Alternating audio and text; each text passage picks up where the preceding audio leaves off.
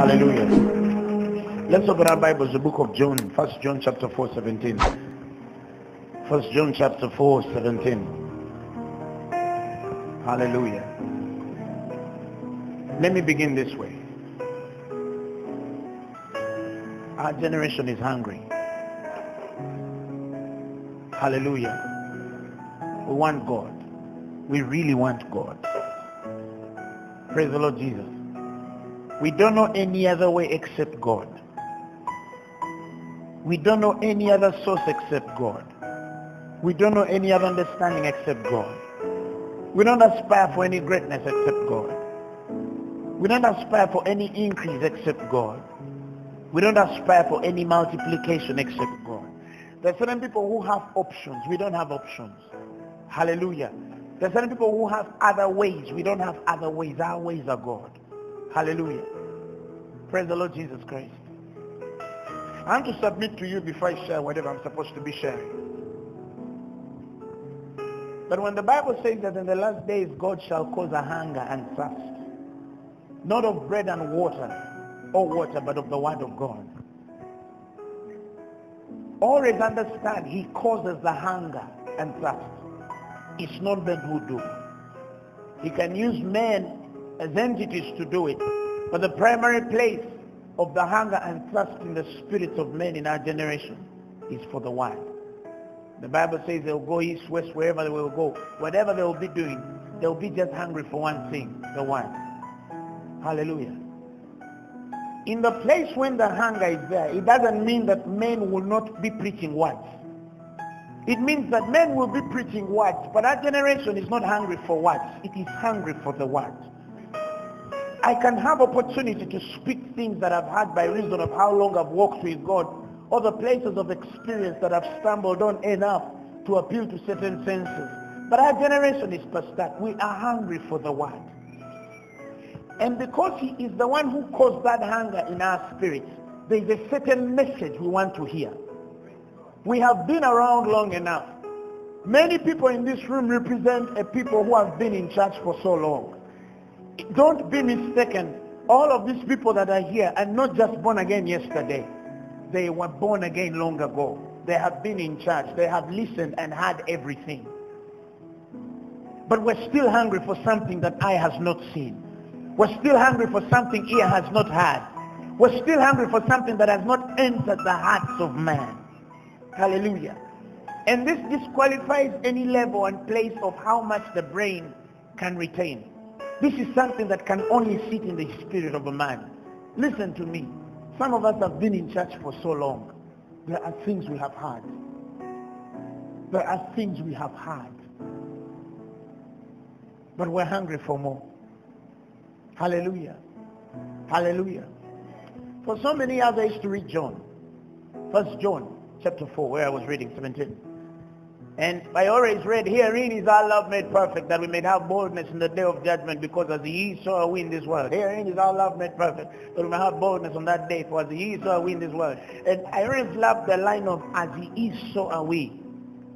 Until the Spirit of God started to minister to me the depth of this truth.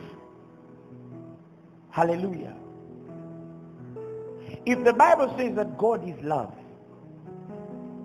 he doesn't just love, he's love. He's the entity love. He's the sole definition of love. I can tell you, if you remove love there and put God, the scriptures would say, and herein is our God made perfect. Not because he's imperfect. Don't get me wrong here. Not because he's imperfect. So the Bible says, and herein is our love made perfect. Herein is our God made perfect, that we may have boldness in the day of judgment. Because as he is, so are we in this world. He seems to say that the places of perfection are based on the places of habitation. You cannot find lame men in heaven. You can't find blind eyes in heaven. There are no dead men in heaven. There are no cancerous tumors in heaven. There is no HIV in heaven. There's just spirits of just men made perfect. You get where I'm coming from? But on the earth, they are lame men. On the earth, they are blind eyes. On the earth they are fallen men. On the earth they are disturbed men. On the earth there there's cancer. On the earth there's HIV. On the earth there are accidents. In the earth there are imperfections. When Jesus came on the earth, the Bible says he took on imperfection. Praise the Lord Jesus Christ. When the Bible says that he took on imperfection, it means that he took on a certain nature that was not perfect. And the places that were imperfect are the places of limitation. Being a human being is a limitation. Because there are certain laws that are contrary to you and you must obey and submit to them. For example, gravity. Because you're human, you, if you fly off a building, unless the angelics catch you, you fall down. Because those laws are bound against humanity. But if you are bad, you simply fly by reason of your nature. So being human also is a certain nature of imperfection. So in the Bible says that, and herein is our God made perfect, that we may have confidence on that day. For as he is, so are we in this world. He means to say that when the human spirit grows to a place by latency, and the approvals of the spirit are positioning the Christian in a place where as God is, so are they. It means that they are not subject to anything in the earthly realm. Hallelujah. And that is the perfection of God. That is the perfection of God. For those of you who are parents, when your child fails, it doesn't matter how successful you are, you feel like you have failed. Not because you failed, but because your son failed. Now, if you earthly fathers know how to give good gifts to your children, how much more your heavenly Father? When you fail, Jehovah God fails. When you do not function like you, should, Jehovah God feels held back to function like he should. Do you see how serious this is? So when the Bible says, and herein is our love made perfect, is our God made perfect, that we might have confidence on the day of judgment. For as he is, so are we in this world. Many people, when they talk about judgment, they think about the end time judgment. But let me tell you something. The judgments of God on the end time to the Christian are different from the judgments of God to a man that is not of God. The Bible says in the book of John that he shall judge of the world sin because they believe not on him. But when you come to the new creature, our communion and place of fellowship is not judged under sin. When the old man in the old dispensation used to come to reason, it was always, come now, let us reason together, for even though your sins are as red as crimson, Vanessa and I cleanse thee as white as snow. When the New Testament creature deals with God, they are not dealing on the basis of sin. They are dealing on the basis of relationship, imputed righteousness upon them. And when the two are now in the places of divine counsel, the provisions of communication are conversations from high places. So Paul says, for our conversations are our conversations are in heaven. From whence we look. From whence we look. From whence we look. For the Lord Jesus. It doesn't mean that our Lord Jesus is absent there.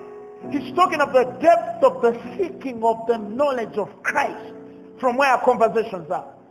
So in our places of counsel are clearly defined. The life of the creature in the New Testament ought to be different from the life of the creature that is not yet born again. Praise the Lord Jesus Christ. And I pray you understand me before I go a bit deeper. Because I feel I'm, by the Spirit I must complicate a few things to make them understandable. Are we together? And so when our love is made perfect, that we might have confidence on the day of judgment, Jehovah God is not talking about the judgments of the sins. The issue of sins has still been dealt with by the cross of Calvary. That is why the Bible says that he that knew no sin, can we go there? He that knew no sin became sin, are you hearing me? That we might be made the righteousness of God in him. Hallelujah. He that knew no sin became sin, that we being dead unto sin might be made the righteousness of God. First Peter 1.24. Let's go. Give me something there. 2.24. Uh-huh. Listen. Who his own self bear, listen, our sins, I want to show a correlation here. In his own body on the tree, that we being dead unto sin should live unto righteousness, by whose stripes you were healed. I want to submit to you. The first experience of Corinthians says he became sin. Okay? He became sin. In the second account of Peter, the Bible says he bore our sins. How did he bear our sins? He bore our sins by becoming a sin. He needed one, to, he needed a representation of sin to bear sins. You see the business? He bore our sins by becoming sin. So when we go to the scriptures of the sin that so easily besets us, you better understand he's not talking about the sins that so easily beset us. I don't know if you understand where I'm coming from. They're not sins. It is this sin. That which is not done in faith is sin. It's not sins. It is sin plural. The sin principle on the new creature is not responding to faith. The sin principle in the old creature is not responding to the law. Because the two correlations are law, faith. Law, faith. Listen, the Bible says in the book of Galatians, the law is not of faith. It's not of faith. You cannot say that I'm doing the law and I'm a faith person. No, no, no, no, no, no, no. That's indifference. That's indifference. You cannot do the law, are you hearing me, and say that I'm also doing faith. The same men who say, oh, some people are under grace, us we're still under the law, but we're still... No, no, no. The Bible says the law, Galatians 3.12, is not of faith. The law is not of faith. So you cannot say that I'm a faith Christian and then say I'm also doing the law or that I'm subject to the judgments of the law to position me in a place where I'm explaining the sin, plural, according to the law. So if I'm in the faith ministry, my place can only be against sinning against the faith. Oh, Shele Maranda. Listen, I can only sin against faith, not against the law. Because the law is not of faith. And I'm not under the law if I'm under the Spirit. So the Bible says, so if I'm under the Spirit, I'm not under the law. Therefore, I don't sin against the law and sin against faith. And faith comes by hearing and hearing by the word of God. It doesn't say and by hearing the word of God. No, it says and hearing by the word. You are by the word. You start to hear. That's why it says in Revelation, and let him that has ears listen to the Spirit. Yet he has spoken about the seven churches. You think that because he has prophesied about the seven churches, that's enough. But he says that, but let him hear that has ears hear what the Spirit is saying. That means you're reading things that are befalling Pergamos, Sardis, Thyatira, Laodicea, and all these seven churches. But there is a message behind those churches. That it requires a man with certain ears to hear. When a man has the secondary place of hearing by the word, the ministration of faith begins. The biggest offense that I've seen in the body of Christ is not hearing by the word. Because that's the very spirit that throttles revelation in your spirit. The ministry of revelation is when you get by the word and say, in the beginning. For the moment you read in the beginning, the Spirit of the Lord starts to explain. That's his essence. He says that in the last days I shall send out my Holy Ghost. He says it's good for you that I may go, for he shall send you the counselor, the comforter, the Holy Ghost. And the Bible says, and he shall teach you all things and remind you that which you have forgotten because I go to the Father. He says that the anointing that you have received abideth in you. And the Bible says, and the same shall teach you to abide in him. When you understand the mystery of submission to the Spirit that teaches, you realize why men cannot pray is because they have sinned against the faith. Why men don't seek God is because they've sinned against the faith. Now let me... Why men don't function in the miraculous is because they've sinned against the faith. How? How? He says the essence of the anointing which you have received, let me help you understand, of him, abideth in you. And you need not that any man teach you to pray, to fast, to believe. And it says that as the same anointing, the Bible says, teaches you all things. And the Bible says, and is truth, not true, truth. That is Christ now. And is no lie. And even as it hath told you, ye shall abide in him. And that's when I realized the places of men abiding in God is when the Spirit of God teaches them how to abide. And the reason why they don't abide is simple. They don't hear the teacher. There's a place where the closed doors of the heaven to men. There's a place where doors are closed to men. Listen, let me tell you, the heavens are open to any man who has understood the mystery of access. Because the mystery of access is underlying on one principle, the liberty of the spirit. It's the very place where the judgments begin. It's the very place where the judgments begin. That's why he says that we might have confidence and boldness on the day of judgment. We are not going to be judged because we stole money. No, because we are past stealing money. You get it? We're going to be judged because the Lord set us so free to have access. To whom much is given, much is required. We're going to be judged because God gave too much access to us by reason of the spirit of liberty that worked in the inside of us.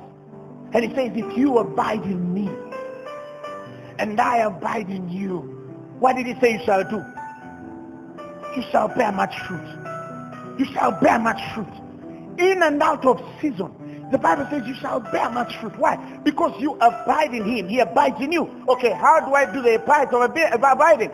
Very simple. Understand the teacher, which is the Holy Spirit. Because it's the place that opens the ears that you can never hear. Listen, the place that I'm communicating to you is just primary ministry.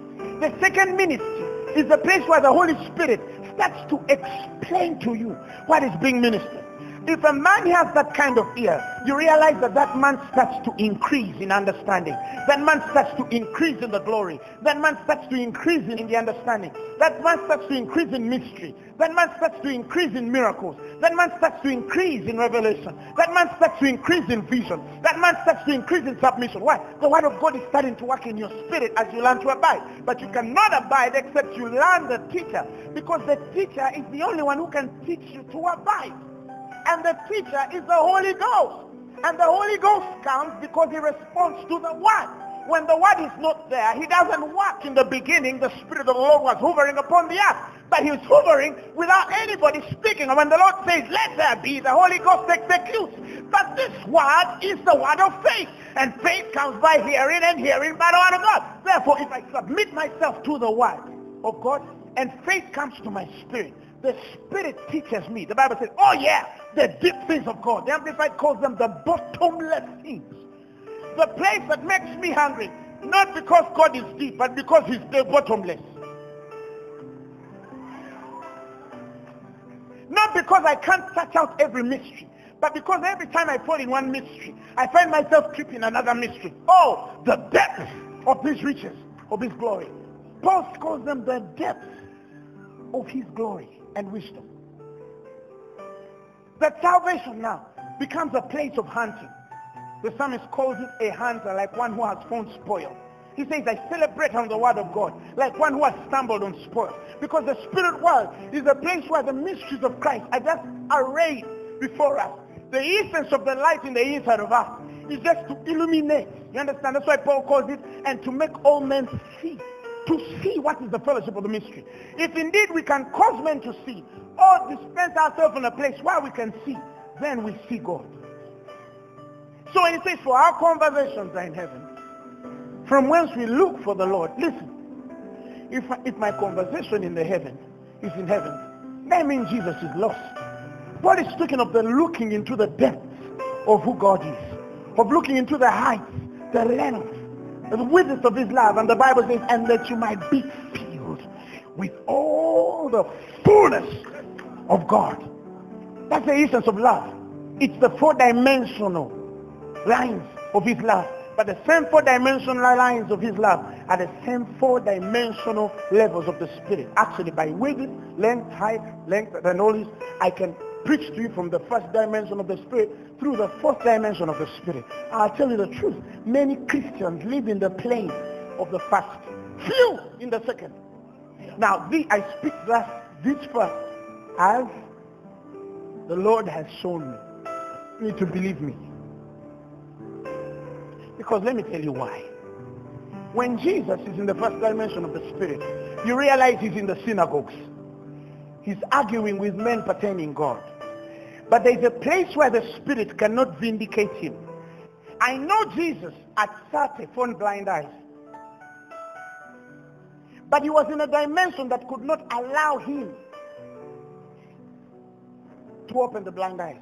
I know Jesus went to funerals. I am sure neighbors died. But at that age 30, you realize that Jesus was incapable of raising the dead man. Yet he was 100% God and 100% man. But because of the place of the first dimension, it doesn't matter how much zeal he had and hunger for the things of the Spirit, he was limited by the level. Until one day the Bible speaks in the book of Luke. And the Bible says he was led by the what? The Spirit of God into the what? The wilderness. And the fastings of our Master are there. But the true fastings of our Master in the back end are actually called the testations of the sons of God. And every son of God will go through those testations. Now many people look at the three trials and they say, ah, I think God was this. This was tempted. You know, I've even had ministers preach from this. But they don't preach from the angle of men who have even gone past that. But they think they do. Why? Because the law has eaten a better part of them to never have any understanding except moral uprightness. Moral uprightness is wonderful. But I'll tell you, there are men in this world who are Muslims and they are morally upright. But that is not going to take them to heaven. And that is not going to vindicate their spirit. Are you with me? It's wonderful to be morally upright. But it must be a seal of the sign that he had while yet uncircumcised. I don't know if you, you understand what I mean. Good morals are supposed to follow us. They're not supposed to be the standard for us to look to. Why? The Bible says, now we look at Jesus and the finish of our faith. And then in one of those stations of the Spirit, the devil tells the guy, turn these stones into bread. And they don't understand that the stones represent the law. And they don't understand that the bread is the message. Turn the law into your message. Because he knows that the law came by Moses and grace and truth came by Jesus. So he knows if Jesus can change his ministry from the grace and start preaching law. That's the greatest temptation. One of the greatest temptations. There are three. But that one is very clear. I usually don't talk about the two. Why? Because mature people can figure the two out. But that's very important. Hallelujah. The biggest temptation is that. And let me tell you something. It's not that the ministers of the gospel have not tested the paths of the ages to come. No. They just fall away for fear of persecution. That's what Paul says. He says, for they have refused to preach Christ and the grace. This is Paul. Because they fear persecution. That's people. That's the place where we want to please men instead of pleasing God. I'll give an example. Paul says, why should I be judged by another man's conscience? He means to say, why should I waste my time to find myself approved in the eyes of a certain man instead of seeking a place of approval before God? But there are many men who seek to be approved before the consciences of men. For example, when that man is preaching grace and he sees people who think he's preaching sin, he will try to preach the law so that they understand that he's not. And we lost many. And I'll tell you, some are trying to come back, but they failed. Why? Because there was a time when it was the word necessary. You'll understand this in future. Peter is moving with Paul every time. He knows who Paul is. The first person he met, Paul met from the Antioch experience through Damascus was Peter. He says, I abode with Peter 15 days.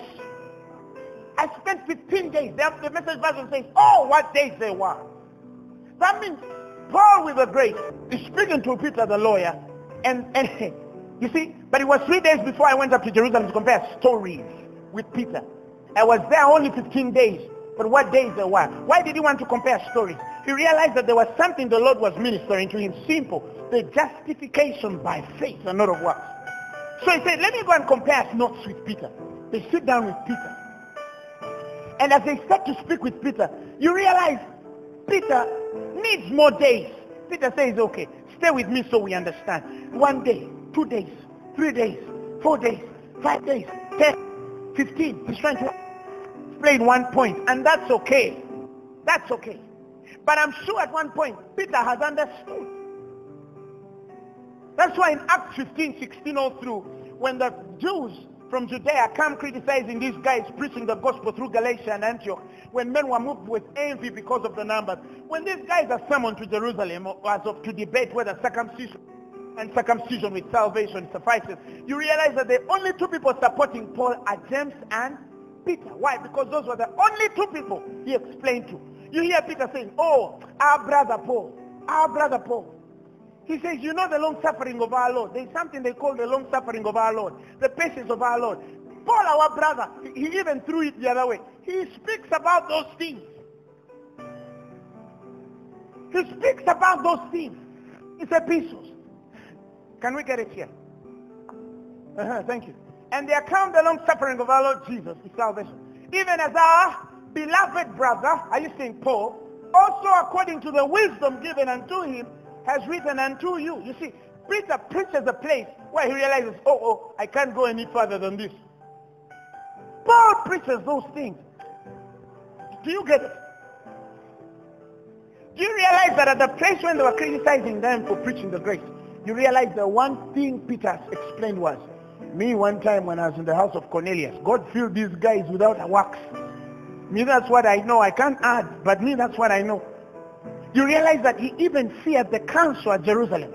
Before you know it, he could not preach to men he was called to. He could not preach to men he was called to.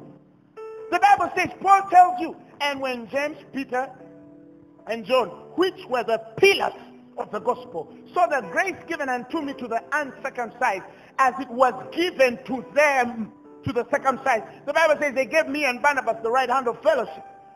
Peter knew that the anointing on him could change anybody in Jerusalem by preaching the grace. The grace of God given to him was to the circumcised. God called Peter to preach to the hard guys. That's why you never saw Jerusalem stone Peter once. Yet it stoned Paul. Why? Because he always went in the synagogues of the Jews. Assignment again. God has called you to the uncircumcised. What business do you have with the Jews? Oh, he says, I wish that I myself were accursed for my brethren the Jews. He has a certain attachment to the group of the brethren to miss the bigger picture assignment. And that's how Christians are. That's how Christians are. They fear to associate with certain people because of the things said. That's nonsense. It doesn't matter who they associate with you. Oh, you have assignment. That's important. Minister, you have an assignment. That's more important. Are you hearing me? We owe God an accountability. We owe him an accountability. God called you to the Jews. Peter, preach to the Jews. Paul, God called you to the Gentiles. Preach to the Gentiles. And that is why if you go through all his journeys, the only group that persecuted and got him beaten were Jews. The Gentile church never beat Paul even once. So I want to submit to you, Paul opened his own war. On the contrary, also, on the other hand, the only people who beat Peter were Gentiles. He also opened his war. Why? When he was in the council, I think every time he would preach the grace and see how resentful they are, he looked for soft.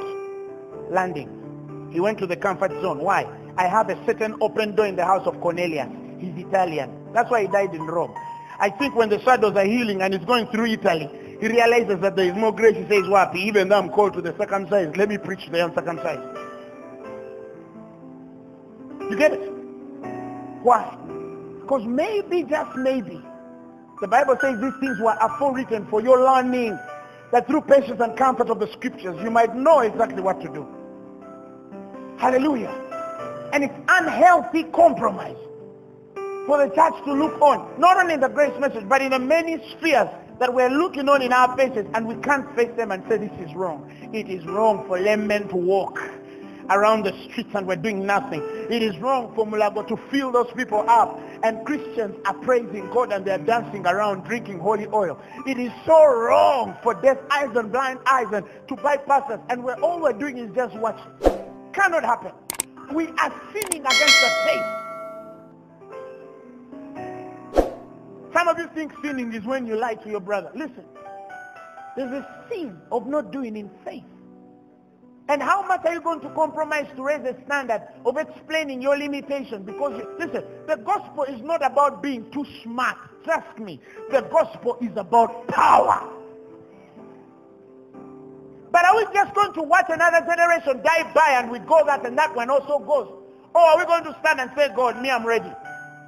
Listen, we will lose a few titles. That's okay. We'll lose a few friends. Let them go. We stay with God. That's most important. Hallelujah. Hallelujah. So, he says, our brother Paul is the one who says those things of long suffering in his wisdom. Verse 16. You see how he says it. And also in all his epistles, speaking in them of these things which are some things that to be understood, which they which are unlearned and unstable rest as they do also with other scriptures unto their own destruction. Next verse.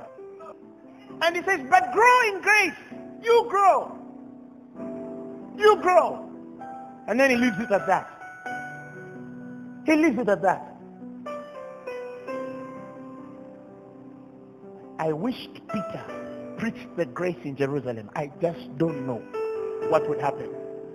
And then asked the Holy Ghost, why didn't he do it? And he told me he refused to eat when the Lord told him, kill and eat. It, religion, eh? He says, not so my Lord. I mean, this is God telling you.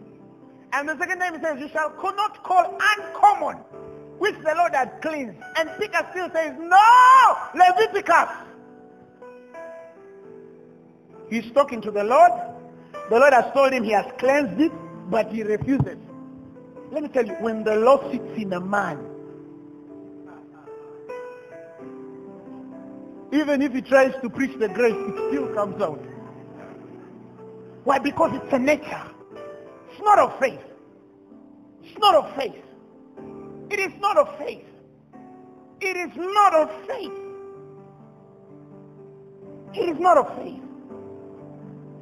And there comes a time where a Christian makes up their mind and says, okay, now where am I going? Am I going to keep the comfort zones of appealing to certain men to prove me true? Or am I going to preach Christ? Let me tell you, we have the biggest meetings in city town because we made the decision years ago. Years ago. And we said we're not going to compromise on what the Bible says. Hallelujah. Very simple. Very simple. And trust me, trust me, we'll shake this world. Trust me. Trust me. We will shake this world. Why? Because that's what the gospel does. Hallelujah. Are you with me? So when the Bible says that we might have confidence on the day of judgment, he's not talking about judging you over sin. No. He's talking of the judgment that must be weighed on men who had liberty enough for access do you know how much you owe the Spirit because of what you carry? How long are we going to continue being politically right? Do You understand? If the Bible says that the word of God is power mighty to save, I don't know, some of you, you should become a bit crazy. you, you should become a little bit crazy. A little bit crazy. But many men, when they were tempted to stand stones to bread, they turned stones to bread. They turned stones to bread. They preached the stone on tablets of stone. The prophet says that the stone is heavy. So because the stone is heavy, they've put burdens on the lives of men. Men are burdened. And the place of burdening is where men are killed for the letter killers. And men are judged by the very things that are laws against them. So again, it's Ten Commandments, but if she committed adultery, the same stone is on them. So the Church of Christ is no longer her mother. It's a place of criticism. Men standing on the pulpit to criticize who is this, who is eating that, who is doing that, who is doing this, who is doing this, who is doing that. Why? Because they chose to turn stones into bread. They had the anointing to turn stones into bread. And because he honors his servants, he still honored them with the Holy Spirit. Because the Spirit is not given by works, it's given by faith. They believed. But how long are you going to be like that, Peter? How long are you going to walk with a man and then two days later you say, ah, I don't know him. Why? Because you see the place of death. How long are you going to compromise between two places? Because you need to make a certain provision for you to look good before people. I don't know who I'm speaking to. I think I'm speaking to you. Praise the Lord. Hallelujah. Now, if that's the testation of the Spirit, do you realize that the Bible says he was led into the wilderness by the Holy Ghost? But the Bible says in James, God tempteth no man with evil, and neither is he tempted with evil. So the Holy Spirit could not have taken Jesus to the devil. No. There was a bigger picture of how all things work together for good. And the devil had a part. And that is why when he passes the second and third, when Jesus comes back, the Bible says he comes back in the power. In the power. He, he went led by the Holy Ghost. He comes back in the power. In the power. He was mantled now to the second dimension of the Spirit. He stands in front of the synagogue and he says, Oh, the Spirit of the Lord is upon me, for he hath anointed me to preach the good news to them that are poor, to bring this and that. And, and the Bible says, when he says, and to proclaim the year, the acceptable year of, of God. Isaiah says, and the impending judgment. The Bible says, Jesus there, shut the book. Because his business was not the impending judgment to men who had the acceptable year. And he says, and today this. Now do you realize that the Bible says, and they are all astonished. There was a time he could go in the synagogue and they were impressed. But now when he comes, they are astonished, the Bible says. Hallelujah. At the words of Jesus. And he closed the book and he gave it again to the minister and sat down and the eyes of all in the, in the synagogues were fastened. Why? Because when he comes in the second dimension of the spirit, he's not just speaking normal words. There is something on his words. Next verse. Next verse. And they were astonished at his doctrine. For his word. the Bible says, for his word. For his word was with power. When you enter the second dimension of the spirit, every statement you say comes with something. I mean, any man can teach the same thing, but when you teach it, it's different. You can cut asunder, separate the bone and marrow, expose the heart and thought for what they really are. You can speak a man's body up and goosebumps vibrating. Why? Because it's deeper than the things coming out. The things you speak, they are word and they are spirit. He says, I shall pour my spirit on your seed. Look at 11, the seed is the word. He says, I shall pour my spirit on your word. When a man is in the second dimension of the spirit, he didn't say you're going to be healed. No, he says you're healed. And when he says you're healed, every demon and spirit in hell knows that it comes with a power. Like they are astonished at the doctrine of Jesus. The demons in hell are also astonished.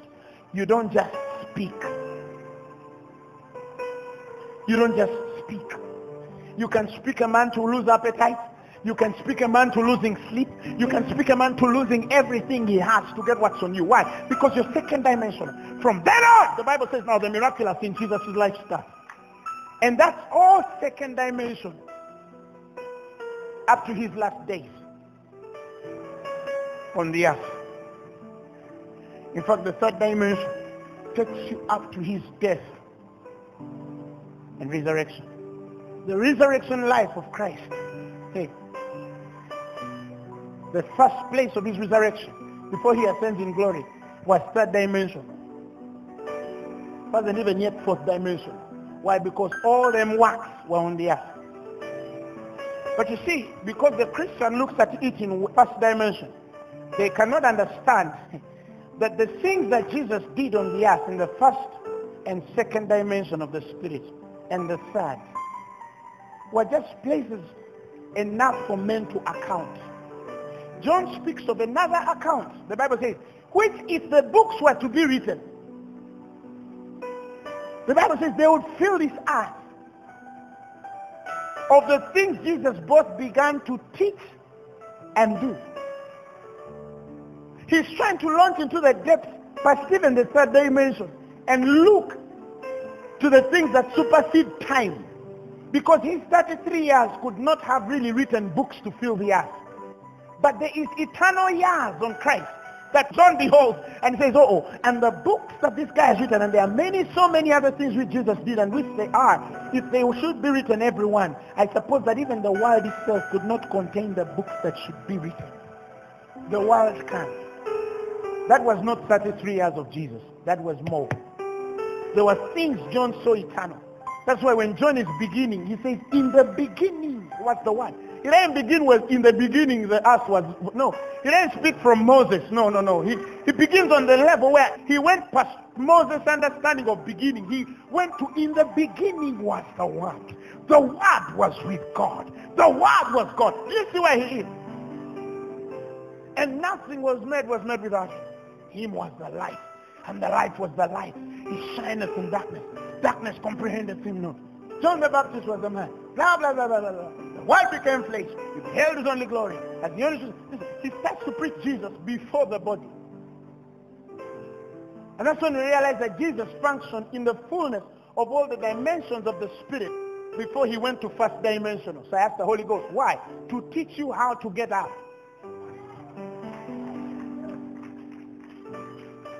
Before Jesus came, he was functioning in all the dimensions of the Spirit. Why? Because the Bible says that he was given an anointing without measure. He speaketh the words of God. He's given an anointing without measure. The essence of the anointing without measure is not that you do multiple miracles everywhere only. The essence of the anointing without measure is to the level of your revelation. Let me tell you, your revelation equals your anointing. The anointing exposed to your spirit is the same level, the revelation. Why? Because he always carries the simple truth, teaching. He will teach you. So if a man doesn't know to preach, and that's why the giftings are good. They have their place. They're wonderful. But we must go past the gifts of the Spirit because there's a place where prophecy will fail. And it says, where it be miracles, they shall cease. But it says, but love, God, never fails. And it says, and I have seen the end of all perfection. But the word of God still be. Listen, we want to take men past the age of miracle, past the age of signs, past the age of wonder, to the age God, word, God, word, God, word, God, word, God. Why? That the scriptures might be fulfilled before our very own eyes in Malachi. And they that sat, that feared the Lord, he says in Malachi, and they that feared the Lord. The Bible says, when they sat to speak one to another, the Bible says the Lord did what? He hearkened. He says, then they that feared the Lord spake often. Give me the Amplified Bible that. He says, then those who feared the Lord talked often one to another. This is a place of fellowship. And the Lord listened and heard it. And a book of remembrance was written before him of those who revered and worshipfully feared the name of the Lord and thought on his name. So you realize that the book of remembrance has two provisions. The place where men commune regarding the mystery. Where men think on his name. There are meditations that are worth capturing in the earthly plane. Why? Because they are too beautiful to fall on the ground. The Bible says they are not stand out his word and it falls on the ground. No, no. It must come back. And it must achieve. The Bible says it must accomplish. It must prosper in the thing why he sends it. Are you hearing me? That the places of our fellowship are worth Jehovah God coming to listen. And my Bible says that the book of remembrance was written, meaning there were scribes. There were spiritual scribes. The angelic hosts were told, write this. And then that's when I asked the Holy Spirit, why a book of remembrance? And he told me, let me read it for you. Let me tell you why it's a book of remembrance. Corinthians. First Corinthians chapter 3. Verse 22. Let me tell you why a book of remembrance has to be written. He says, whether Paul, now he's talking of the revelation of Paul. Whether Apollos, he's now talking about the revelation of Apollos. Or Cephas, now he's talking of the revelation that Peter had. All the world, all life, all death, all things present, all things to come are all yours. Rewind. All things to come. You own 2050. You own the things of 2050. The 2050 are subjected to you as the Lord of them in 2050. And he told me that's why the book of remembrance was written. Because the kingly anointing relating to remembrance can only be for the future. Mordecai did something in the past, and one day the king said, bring my book of remembrance, read it. And that's when, that's the time when the book of remembrance comes. For Mordecai's sake. It is the point where the Lord shifts the gallows that should have hung Mordecai, and they turn to Haman.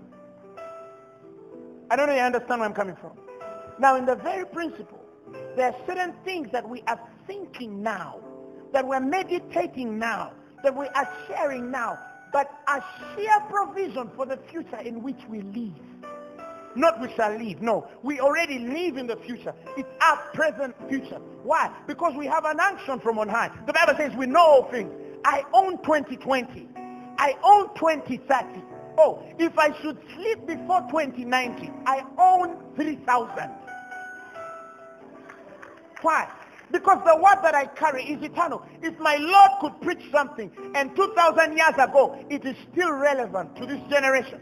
God wants to raise men who have a depth of eternal word enough to be relevant, even when they are long gone. That's the essence of, of Psalms. He says, for when I was young, you did your wonderful works and I displayed your wondrous works to the world. And he says, and now when I'm old and gray, he says, forsake me not until I have shown your power to this generation. And he says, and to the generations to come.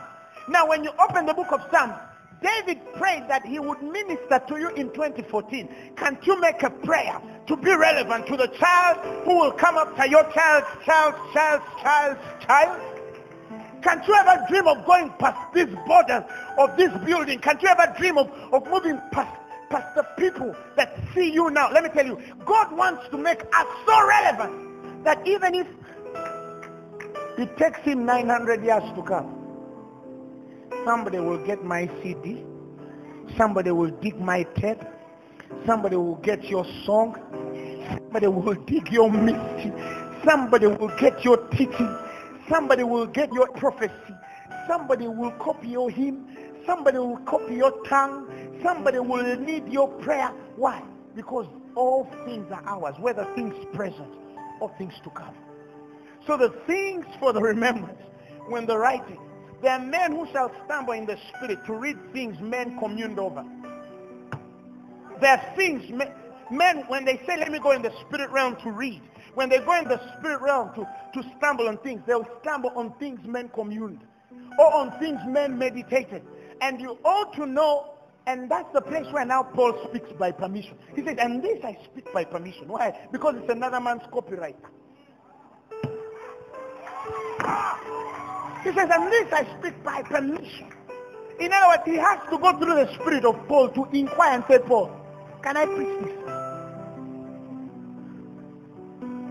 Hallelujah. Hallelujah. He says, but I speak this by permission and not of commandment. He knows the difference. When the words of Christ are spoken, the things the Bible says he spoke of the parables of, of the things that were there, that he says he spoke of the things that existed before the foundation of the world. Those are commandments to the sons of God to minister. That's why he says teaching them and commanding them to do the things that I told you to do. For lo, I am with you until the end. There are things that by reason of the Spirit of Christ are commandment to us. But there are things that by reason of the mystery of this order are by permission. They are by permission because men stumble over. I tell you something. There are things that men are meditating now that men shall minister in the future. There are things we're preaching now. And they're going to go in the loins of our children's children. And one time your child is going to speak things. And they're going to tell them, I preached the same thing years ago. Why? When the Lord hearkened and the book of remembrance was written, the men stumbled there. And that's when I realized that certain men will never minister to except taking them to a place where they can read for themselves. We might never lay hands to them. We might never teach except if we can give them enough God for them to stumble into the things where the teachings and divine purpose is made. I mean, if a man of the Old Testament could stumble in a meeting and say, whom shall we send? And that man says, send me, Lord. How much more you, who doesn't stumble in meetings anymore? Because now the Bible says that the temple veil has been rent into two. And the Bible says that now we have access into the Holy of Holies where Jesus Christ, our forerunner, has gone in advance for us. You're not behind in any heavenly meeting now. No. You're always on time. You're always on time. Why? Because you shall not seek him on that mountain or this mountain. But they that seek him shall seek him in spirit and in truth. But the place of our provisions were already there. They were very simple. We have the mind of Christ. They were very simple. We are seated in Christ. In Christ. So how can Christ attend a meeting and we're not in? But if the Old Testament man by diligence, by just diligence, could stumble on those things, that was the hardest place that he could go. He was a hero in his time, but it should not be heroic for you to stumble in the heavenly conversations. It should be a fallen state for God to visit you. We're not seeking for visitations. No, we are in the grace of the indwelling Spirit of God. He's now in us, and that was the mystery that was hid from the ages past and now revealed. Christ in us, the hope of glory. So when I hear men, oh, the Lord visited us, I say, God, I'm past that. You are in me. Let me read you something. I'm finished. Hebrews 2, verse 1. He says, therefore, we ought to give the more earnest heed of the things which we have heard. Lest at any time we should let them sleep. Next verse. For if the word spoken by angels, listen, by angels, not by God, was steadfast, and every transgression and disobedience received the just recompense of reward. They don't understand that now the Lord is comparing them to angelics. They think God is only warning them against an impending line of ma making the word. Listen, when he says, lest we make the thing sleep, he's saying, if angels could decree something and everything is executed in whom God doesn't dwell, no, to whom only God sends, how much more you in whom Jehovah God dwells? Next verse. How shall we escape if we neglect the great salvation? This great salvation, which at first began to be spoken by the Lord and was confirmed unto us by them that had him. Give me the message version of that. He says, do you think we can risk neglecting this latest message, this magnificent salvation? First of all, it was delivered in person by the Master. Do you see how wonderful? Listen, if angels could do something and demonstrate and speak the word and it happened, Jesus knew that this word was too beautiful to be delivered through angels. He came himself. And he says, first of all, it was delivered in person by the Master. And then accurately passed on to us by those who had it from him. Next verse. All the while, God was validating it with gifts through the Holy Spirit. Now, do you see why the gifts come? All sorts of signs, wonders, as he saw fit. Next verse. God didn't put angels in charge of this business of salvation. That we're dealing with here. He didn't put angels. Next verse. It says, it says in scripture, what is man and woman that how that you bother with them and why do you take a second look at their way? Next verse. You made them not quite as high as angels, bright with Eden's dawn light. Next verse. They put you, then you put them, listen, in charge of your entire handcrafted world.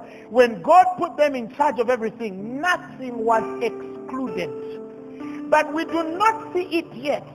Don't see everything as under human jurisdiction. But this is what we see. But we see Jesus. We see Jesus made not quite as high as angels and then through the experience of death crowned so much higher than any angel with a glory bright with Eden, dawn light. In that death by God's grace, he fully experienced the death in every person's place. Next verse. It makes good sense that the God who got everything started and keep everything going on now completes the work by making the salvation pioneer perfect through the suffering as he leads all these people to glory. Now you began from a place of glory. You began from a place of glory. We might not see everything as subject to human jurisdiction, but we see Jesus because there is nothing that failed him. There is nothing that failed him. He was the darling of heaven. He was the success, the hope of human nature. And he never failed. He never failed one bit. But the Bible says that he had submitted everything under. Everything, the Bible says, handcrafted by him under the man. And he says, and nothing in this world was not subjected. Meaning that everything that you see now has a backline disclaimer of obedience to you, whether you know it or not. Money should not be your problem. Nothing should be your problem. For all things are yours. All things are yours. And you're Christ. And that's the beginning of the judgment of God. If you had all things. You see, many people read, oh, and the farmer gave one uh, six pences and ten pences and fifteen pences. You see, and that's just a parable of the kingdom. He didn't give you ten pences. He didn't give you six pences. He gave you the world. He gave you all things. He gave you all things. He, he gave you all things. What are you going to do? Are you just going to live a life of victimized mentality and failure and loss and disadvantage? Or are you going to do something? Now I understand why creation grows. Now I understand why the Bible says that the foundations of the world are out of course. That means there is a certain shift and shaking of things that hold the world. Why? Because they are so disturbed, you're not showing up. You're not showing up. These things are translating into wars, corruption in our nation. Why? Because the church is nowhere. There is still something underground telling us there is something you're not doing. We don't know why. But child sacrifice should not be here. Men should not be passing bills of men sleeping with. It's just too stupid. What are you doing? And you know, all Christians we are fighting each other instead. But the bigger picture is very simple. The foundations of the world are coming out of course. Why? It's yours, but you're doing nothing. Prayer. And you lose it. Why? Because you're pointing pictures and pointing fingers at everyone instead of taking responsibility of everything that is happening. The world is mine. Everything is mine. Everything is mine. Everything. Listen, that's why we're going to start to look at everything we carry as tools of the gospel. You're not going to look at it as a smartphone. No, it's a tool of the gospel. It was supposed to be yours. You're not going to look at it as a nice Mercedes Benz. No, it's a tool of the gospel. It had to be yours. Because men are now lost in the vanities. And they fail to behold Christ, which is the end of, of all things. But now we see Jesus. Now we see Jesus. What is it to the guy who came believing God for tuition? What is it to the woman who came believing God for a husband? What is it to that brother whose wife left?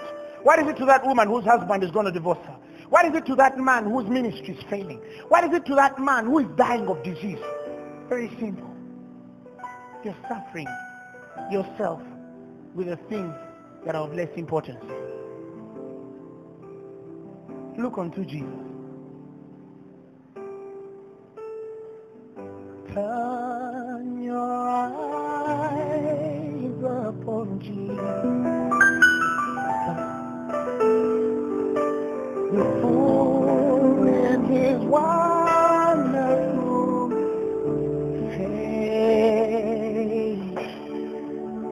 the things of earth will grow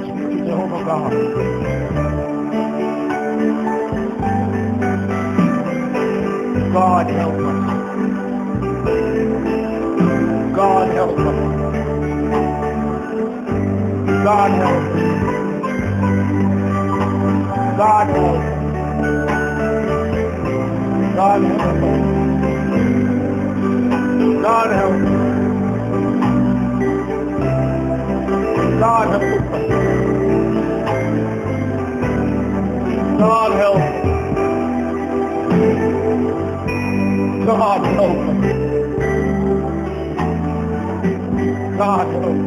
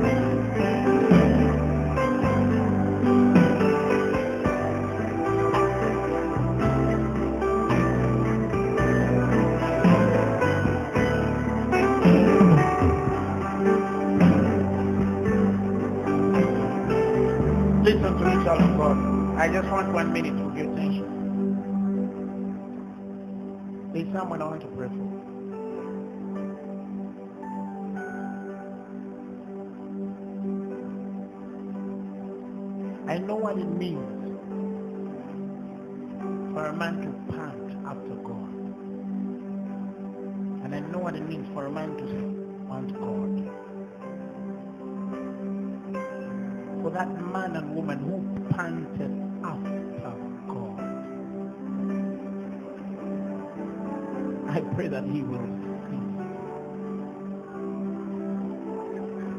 I pray that he will separate you. I pray that he will consecrate you. There is a man, God, here who just pants after you. They're like a deer that panted for water. They, they want something. Not because they don't have it, but because they're uncomfortable if it's not manifest.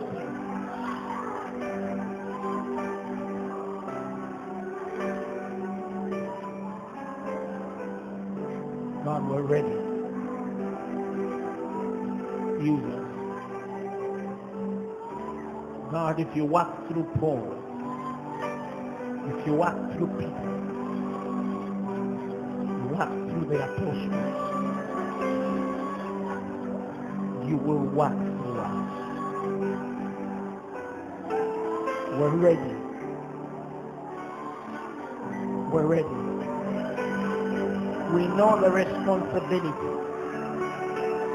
of all things being ours.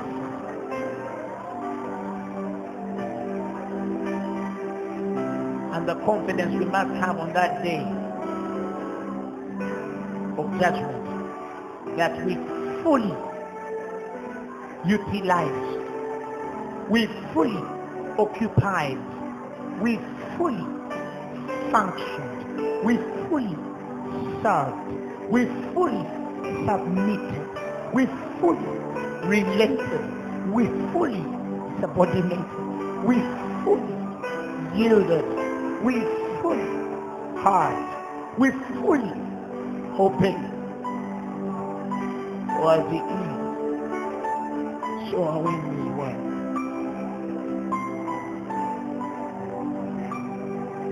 Thank you, Father.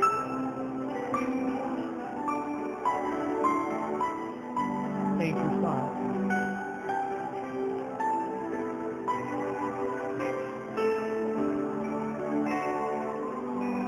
Somebody thank the Lord.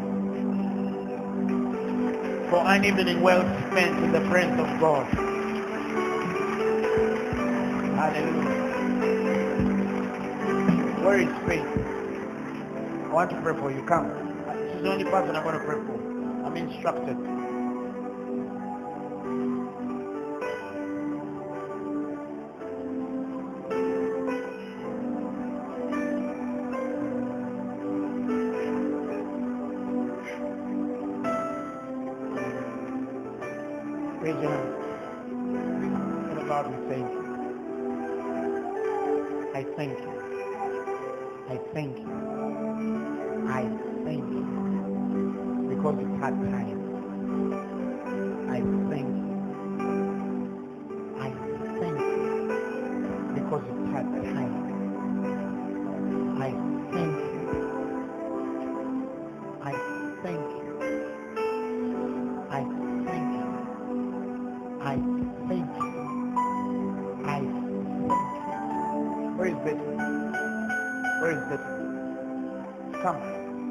God, I thank you. Because it's their time to see you. I thank you. Because it's their time to experience you. In Jesus' name. In Jesus' name. Father God, I thank you. Because it's our time to see you. I thank you because it's our time to experience you. I thank you because it's our time to increase in you. I thank you because it's our time to. I thank you because it's our time to bend. I thank you because it's our time to listen. I thank you because it's our time to yield in Jesus' name. Amen. Thank you, Lord. Give the Lord a mighty hand of praise.